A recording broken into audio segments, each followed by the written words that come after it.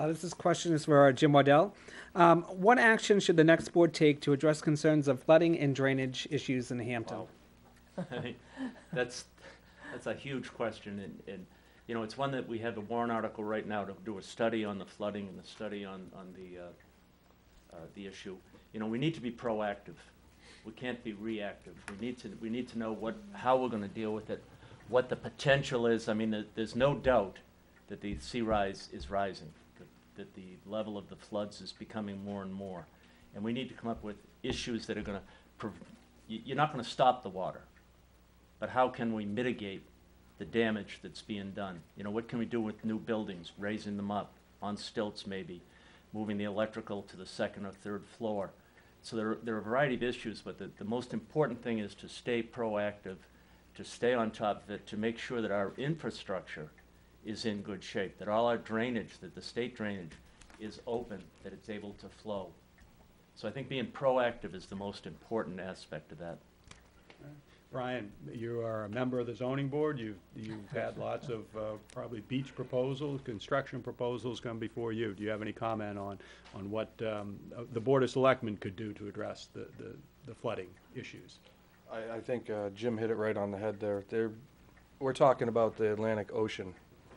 Um, It goes all the way to Europe. And when it comes up, there's, on the back, if we're talking about the back strip, there's, everything is below sea level there when the tide comes up. You, there's nothing you can do. My business is down there. It's always flooded. It seems, it appears to be getting a little bit worse than it has been in the past, but you can't drain the ocean. There's nowhere you could drain that to. So I agree with what Jim said there with perhaps how you build stuff down there and what you want to do. My business is down there and we had six inches of water for three days in there and there's, you know, the tide goes out, the water goes out. Tide comes back in, the water comes back in and you just kind of, you have to go along with it and deal with it. Um, as far as how you build houses in the future in those areas, that's something you could address.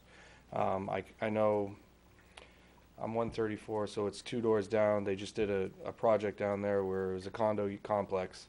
And the way that they were able to work and do that with drainage inside it and building it up a little bit, none of that property floods whatsoever. So maybe more steps like that in the future when we build in that area would be something that we could do. Tim? Well, I think that to say we need to continue to be proactive suggests we already are proactive, and I don't see that proactivity. Uh, you, uh, Selectman Waddell's been on the planning, uh, board as a selectman's representative now for well over a year. I didn't see any proactivity relative to flooding at all there. And to suggest that we can do nothing at all is, to me, uh, you know, uh, not acceptable. I mean, public health, flooding is a public health issue. Good drinking water is a public health issue.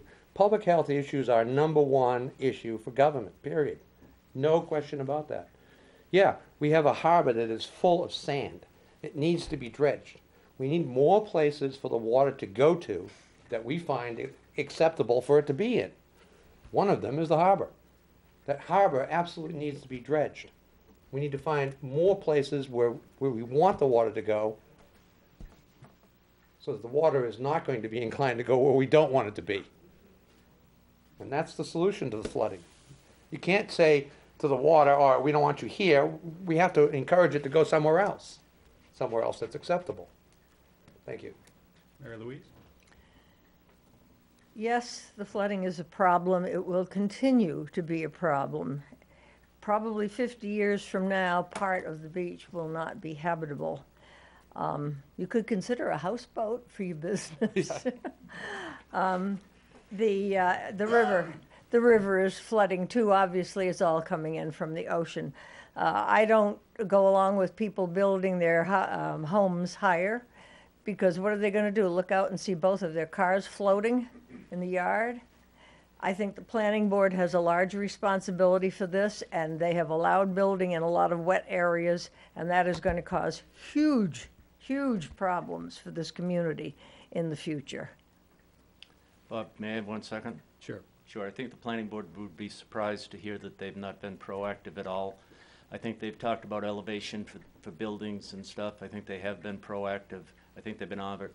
And I think you have to realize with the ocean, with the marsh, with everything else, every action has an equal and opposite reaction. So just diverting the water sometimes is gonna divert it to another place. So you have to be extremely careful about how you do that.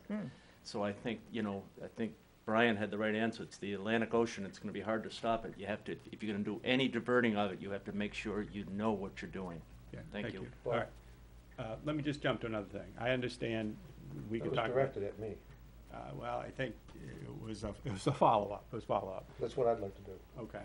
I'm gonna let you do that, but first I wanna go right around the table.